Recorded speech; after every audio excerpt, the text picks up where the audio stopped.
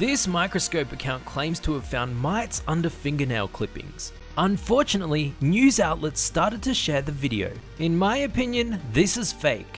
So here are some reasons why I think this video is fake. And I am also looking at nail clippings under the microscope. And you'll be pleasantly surprised to know that the type of mite found in the original video would unlikely live or survive under your fingernails.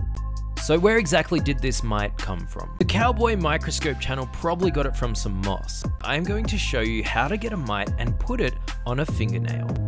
In many samples of moss you will find mites, and if I pick it up with a pin, I can carefully place it on the nail clipping. Ta-da! It looks pretty familiar, right? The video got 32 million views, and it's been shared by news outlets. And in my opinion, this is fake. I think the news article should also amend or retract.